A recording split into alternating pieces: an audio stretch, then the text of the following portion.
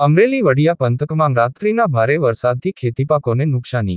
વડિયાના દેવલકી ગામે રાત્રિના ખાબક્યો હતો ધોધમાર વરસાદ. ધોધમાર વરસાદથી ખેડૂતોના મગફળીના પાકો થયા નષ્ટ. ખેડૂતોના ખેતરો પાણીમાં તરબતર. ખેડૂતોએ વાડીમાં રાખેલા મગફળીની પાથરાઓ પાણીમાં પલળી ગયા. ખેડૂતોના પરસેવાની કમાણી છેલ્લે છેલ્લે થઈ નષ્ટ. વરસાદના છેલ્લા રાઉન્ડે ખેતીપાકોને કર્યા તબાહ. વધુ વિગત દેવલકી ગામના ખેડૂતોએ આપી હતી.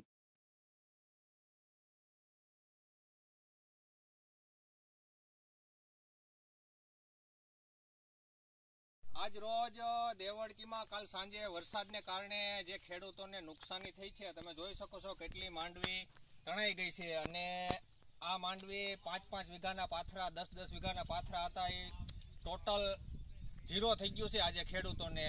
અને એટલી દુર્દશા થઈ છે, તો મારી સરકારશ્રી અથવા તો આપણા તાલુકાના ગ્રામ સેવકને વિનંતી છે કે સર્વે કરે અને ખેડૂતોને થોડી ઘણી સહાય ચૂકવે. કારણ કે અત્યારે એટલી નુકસાની છે કે ટોટલ માંડવીના પાથરા છે, એ બધા ખેતરની બહાર નીકળી અને સેલા વાયામાં વયા ગયા છે. પાણીની એરિયા તમે જોઈ શકો